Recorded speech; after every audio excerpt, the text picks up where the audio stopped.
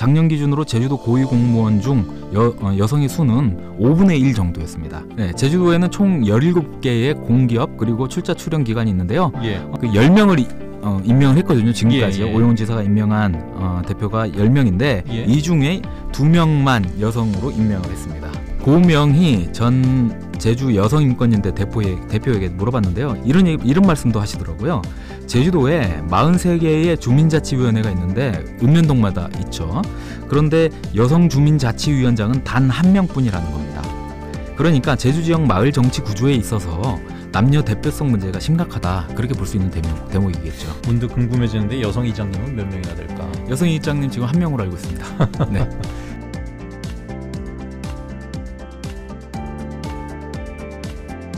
제주도의 성평등 어디쯤입니다. 지금 양성평등 주간이던가요? 네 그렇습니다. 아, 어, 정부가 매년 9월 1일부터 7일까지 7일 동안 양성평등 주간으로 지정해서 예. 성평등을 위한 여러 가지 어, 행사를 벌이고 있습니다. 올해로 26년째입니다. 대표적인 사회적인 문제들 가장 먼저 떠올려 보자면 예. 어, 임금 차별 문제 어, 음. 떠오릅니다. 그리고 또 유리천장이라는 표현으로 일컬어지는 여러 예. 가지 어, 여성들의 사회적 제약들도 아직 많이 남아 있기도 합니다. 예전엔 남녀평등 남녀평등 얘기였었는데 이제는 성평등이란 말을 주로 쓰고 있기도 하죠. 네. 그러니까 성평등 주간이 지금 2023년에도 아직 유효한 이유가 여기에 담겨 있을 텐데 자 제주에서도 관련 행사가 열렸죠? 네, 그렇습니다. 제주도는 올해 함께 해요. 그 성평등 빛나는 제주를 표로 정하고 어, 도 전역에서 성평등을 위한 다채로운 행사를 마련했는데요. 제주시와 서귀포시도 각각 여성단체와 함께 기념식도 가졌고요. 예. 어, 여성 관련 기관과 단체별로 양성평등 주간을 맞아서 어, 문화 행사들을 열고 있습니다. 예. 자, 이- 보통은 이런 날 이제 도지사가 메시지를 발표하기도 합니다. 네네. 오영훈 지사도 어떤 메시지를 발표했습니까? 네, 지난 1일 한라대학교 컨벤션홀에서 양성평등 주간 기념식이 열렸는데요. 어, 기념식에 오영훈 지사 그리고 김경민 도의회 보건복지안전위원장 등이 참석을 했습니다. 한 200여 명이 참석했습니다. 예. 행사가 성대하게 열렸는데요. 이 자리에서 오영훈 제주지사는 제주도가 오늘 양성평등진흥 유공으로 대통령 기관 표창을 수상하는데 이와 함께 세 차례 연속 여성 친화 도시로 인정받은 것은 수상자들의 비- 어, 수상자들을 비롯한 도민 여러분의 도움과 성원 덕분이다. 그렇게 공을 돌렸고요. 그러면서 음. 이런 말을 했습니다. 성평등한 사회가 우리 사회의 보편적인 가치로 인정받을 수 있도록 최선을 다하겠다. 그렇게 예. 말했습니다. 그런데 말입니다. 예. 어, 생각해 봐야 할 부분이 보이더라고요. 어, 성평등한 사회가 우리 사회의 보편적 가치로 인정받을 수 있도록 최선을 다하겠다. 그렇게 오영훈 지사가 말했는데요. 오영훈 지사는 그러면 제주도의 양성평등을 위한 노력 많이 기울이고 있을까? 예. 이 부분들 좀 확인을 해봐야 되지 않겠습니까? 그래서 좀 자료들을 찾아봤습니다. 제주도에도 유리천장이 분명 존재한다라는 말씀 같은데. 네네 그렇습니다. 이거 수치로도 분명히 드러납니다. 아, 그래요? 네, 대표적인 것이 고위직 공무원이나 공- 아. 네 그리고 공공기관장의 남녀 성비인데요. 예. 일단 제주도시장 그리고 어, 아, 어 일단 제주시장 그리고 예. 서귀포시장 모두 남성이죠. 예. 그 두 명의 부지사 역시 여, 어, 역시 남성입니다. 예. 국장급도 남성 비율 아주 높고요. 예. 이런 상황을 그냥 그러려니 하고 자연스럽게 또 생각도 되는데 여태 그래왔으니까. 음. 근데 아- 왜 아직 이런가 생각해 예. 볼 일입니다. 특히 여성 주관이 여성 어, 성평등 주관이니까요. 예. 네, 양성평등법이 있지만 이런 고위 공무원의 비율을 정확하게 정하고 있지는 않습니다. 예. 작년 기준으로 제주도 고위 공무원 중 여, 어, 여성의 수는 5분의 1 정도였습니다. 이번 제주도가 하반기 인사를 하니까 관련 상황들이 조금 더 어, 조정이 될 수 있거든요. 예. 이런 부분들 보면서 또 다시 소개해드리도록 그러니까 하겠습니다. 고위공직자의 여성 비율이 좀 많이 떨어진다는 이야기는 굉장히 오랜 시간 좀 이어져 왔던 얘기인데 네네. 지금도 아직 5분의 1 정도밖에 안 된다라는 네. 이야기이신 거고 그러니까 양성평등법도 있고 뭐 양성평등 시대를 살아간다고 하지만 아직 갈 길은 멀다라는 말씀 같은데요. 네, 양성평등 양성평등법이 의무화하는 영역이 많지가 않거든요. 예. 행정이 어떤 업무를 추진할 때 성평등한 과정과 결과를 어, 만들어내기 위한 그런 장치거든요. 양성평등법이. 예. 가령 양성평등법은 어, 국가와 지방자치단, 지방자치단체는 위원회를 구성할 때 위촉직 위원의 경우에는 특정 성별이 예. 그 위원 수의 10분의 6을 초과하지 않도록 한다라고 규정하고 있는데요. 예. 특별한 예가 어, 그리고 또 어떤 사유가 없다면 예. 이 규정을 따라야 하는 건데 예. 그러니까 10분의 6이라고는 표현을 썼는데 네. 그러니까 이게 뭐 최대한 성비를 한 5대 5로 맞춰봐 이렇게 이렇게 얘기하는 거잖아요. 그 취지가. 네, 맞습니다. 그런데 올해 새로 출범한 어, 제 12기 4.3 실무위원회 위원 중에 여성의 비율이 예. 2021년보다 오히려 더 줄어든 것이 확인이 됐습니다. 예. 이걸 기사로 썼는데요. 어, 이전에도 여성의 비율이 적었었는데 오히려 더 줄어든 겁니다. 현재 전체 위촉직 어, 4.3 실무위원 중 어, 16명인데요.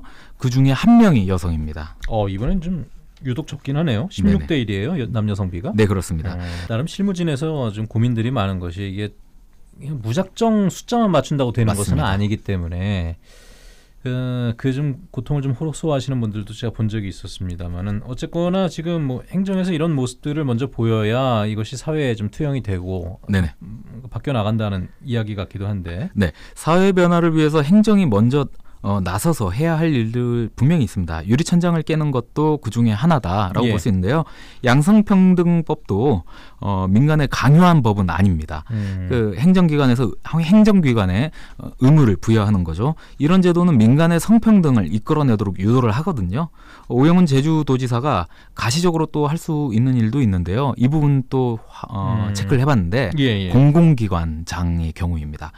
공공기관의 성평등에 대한 오영훈 지사의 실천적 노력은 어떨까 좀 예. 살펴봤습니다. 어떤 재료들 봤습니까? 네, 바로 제주도지사가 임명하는 공기업 대표와 예. 출자 출연 기관장의 현황입니다. 어, 남녀 성비를 들여다봤습니다. 아 그래요. 네. 지금 뭐 공기업과 출자 출연 기관이 제주도 내 제주도가 운영하는 게 몇 개나 되죠? 네, 제주도에는 총 17개의 공기업 그리고 출자 출연 기관이 있는데요. 예. 어, 제주도의 어, 공기업 공사라고 하죠. 그 제주도 개발공사, 제주관광공사, 그리고 제주에너지공사 이렇게 세 곳이 있고요.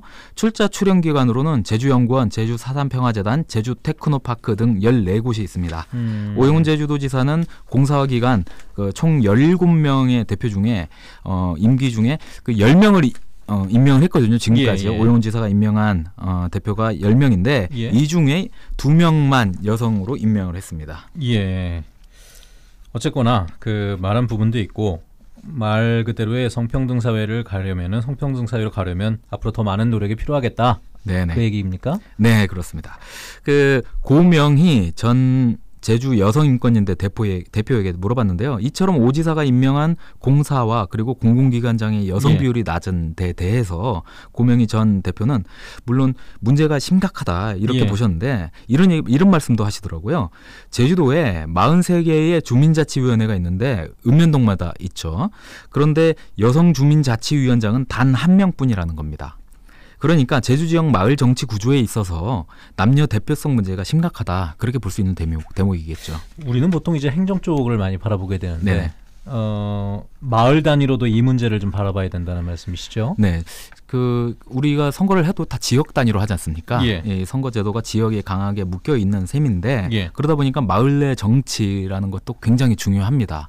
이 마을 내에서의 정치를 어떻게 성평등하게 갈 것이냐, 어떻게 청년들에게 좀 어, 권한을 많이 부, 부여할 음. 것이냐, 이 부분이 결국 제주도 전체 행정으로도 이어질 수 있다. 그렇게 또 볼 수 있겠는데요. 지금 현재 마을의 자생 조직을 보면 음. 청년회는 사실상 남성의 전유물인가? 라는 또 생각이 들거든요. 아, 그러네요. 네, 여성들은 분여회라는 자성조, 어, 자생 조직으로 들어가지 않습니까? 조금 좀 다른데. 아, 네네. 예. 그 마을에 사는 게 아니라 마을 남성과 결혼해야 분여회에 들어갈 수 있는 그런 구조를 갖고 있는 마을도 있습니다. 그러니까요. 네, 이게 그런 아. 경우는 분여회가 아니라 마을 부인회라고 해야 되는 것 아닌가? 좀 예, 명칭에도 좀 고민을 음. 하게 된 그런 부분이 있습니다. 마을 자생 조직의 구조도 바꿔 나가야 할 필요성이 굉장히 부각되는 그런 시점이기도 합니다. 청년의 그 문제도 있지만 이번 키워드는 성평등 주관과 관련해서 마련했으니까 그 다음 기회에 또 예. 어, 정리해서 말씀해 드리도, 말씀해 드리도록 하고요. 각 마을 차원에서 분여의 명칭 을 여성회로 바꾸는 등 조금씩 변화를 추진하고 좀 마을 내에서의 여성의 어떤 목소리를 내는 음, 그런 자리를 더 많이 만들어 나갈 그런 필요성도 있지 않을까 싶습니다. 문득 궁금해지는데 여성 이장님은 몇 명이나 될까? 여성 이장님 지금 한 명으로 알고 있습니다. 네. 그게 이제 우리의 지금 네, 현실이라는 맞습니다. 거잖아요. 알겠습니다. 두 번째 키워드로 가보도록 하죠. 교육 인권입니다. 교육과 인권이 아니고 교육 인권입니까? 네, 그렇습니다. 어, 알 것 같습니다. 그 어제가 49제이기도 했고 네. 서초구 그 서희초등학교 교사 사망 사건 그 뒤로도 참 여러 좀 안타까운 소식들이 계속 들려왔기 때문에 네. 파장이 굉장히 크잖아요 지금. 네, 최근에 제주도에서도 그 안타까운 소식 하나 또 들어왔고요. 예. 교사 관련해 가지고요. 어, 서울 서초구 서희초등학교에서 숨진 교사의 49제가 어제였는데요. 어, 제주도에서도 교사들이 함께 한 그 추모 집회가 열렸습니다. 예. 정교조 제주지부와 제주도 교원단체 총연합회 등 도내 6개 교원단체 등이 어, 어제 오후 제주도 교육청 주차장에서 문화제를 열고 어, 교권 보호 장치를 마련하라고 촉구했습니다. 이번 사건으로 인해서 학부모들의 악성 민원과 교사들의 교권 침해 문제가 크게 어, 부각이 되고 있는데요. 음. 어, 교사 측은 교권 보호 장치와 아동 학대법 개정을 요구하고 있습니다. 그 아이들이 좀그 학생들이 예. 학생들이 어떤 교, 교사들에게 좀 인권 침해적인 행동을 하거나 그런다 해도 대제로, 제대로 대체하지 못 대처하지 못하고 있다 그런 음. 토로를 하고 있는 건데요. 실효성 있는 교권 보호 대책을 마련해 달라고 요구를 하고 있습니다. 시대가 참 많이 바뀌었다는 생각을 하게 되는 네네. 대목인데, 음, 자 어떤 목소리들이 나왔습니까? 어, 교사들이 교육 현장에서 실제 학교 현장에서 일하면서 느끼는 어려움들 많이 토로했는데요.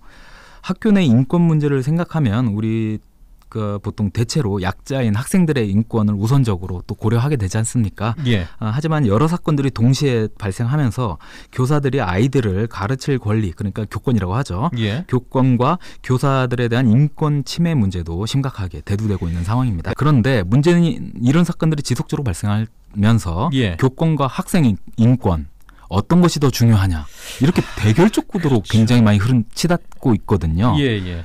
둘 다 중요하지 않습니까? 그렇죠. 네, 그 부분을 간과하게 되는 경우가 많은데 이런 일이 발생하면 어, 교권이 중요하다 쪽으로 흘러갔다가 이런 일이 또 학생 인권 침해가 예. 발생하면 또 학생 인권을 챙겨야 한다 이렇게 대립적으로 많이 흘러가고 있는데 학생 인권이냐 교사 인권이냐 아니다 교육 인권이 중요하다 교육 인권을 어떻게 포괄적으로 살려나갈 것이냐 음. 그래서 교육 인권을 키, 키워드로 갖고 왔습니다 예.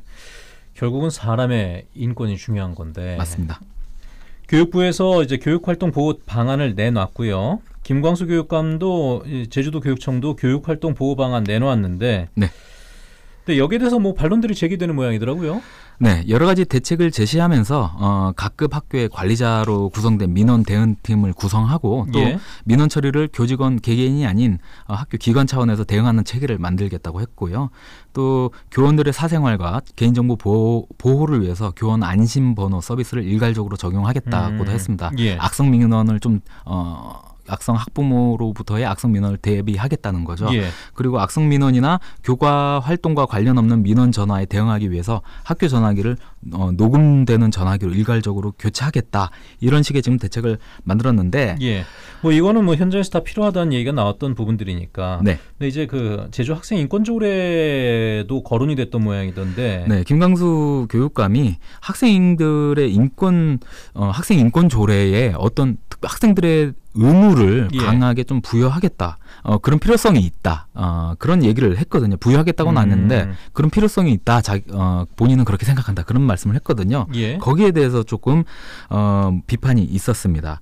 그 시민 오늘 시민 인권 단체들이 성명을 발표했는데요. 예. 김강수 제주 제주도 교육감의 어, 이 대책과 인식이 그 지금 현재 상황 인식과 어, 해법이 연결되지 않는다. 그리고 매우 자기적이며 근본적인 성찰은 없다, 없어 보인다. 그렇게 비판을 했습니다.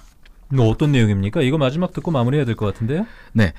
교육이라는 게 학생 그리고 교사, 학부모 세 개의 주체를 인정하고 대, 어, 대화를 나누면서 대책을 만들어 나가야 하는데 예, 예. 지금 지금 교육 교권 침해 사건이 발생했으니까 당장 교사의 인권에 초점을 맞추면서 이 대화 소통 구조를 가져가지 않고 있다라는 겁니다. 가령 민, 민원 전화를 어떤 녹음하고 그런 예. 등의 어떤 강력한 조치들을 만들어나겠다고 하는데 예. 그렇게 되면 학부모들을 단순히 대화 어, 소통하고 교육을 위해 소통하고 대화를 나누는 대상이 아니라 악성 민원인으로 잠재적 악성 민원인으로 어, 전제하는 것 아니냐 그런 또 의문 이 또 포함되고 있다. 예. 그렇게 볼 수 있는 거죠. 그러면서 학생 인권 교 조례를 김강수 교육이 꺼내 들어 꺼내 들었으면서 예. 문제가 있다면 개정을 하겠다 이런 예. 얘기를 하면 되는데 예. 그런 얘기는 개, 어, 개정을 하겠다라는 얘기는 또 없다는 부분도 거론이 되기도 했습니다. 예.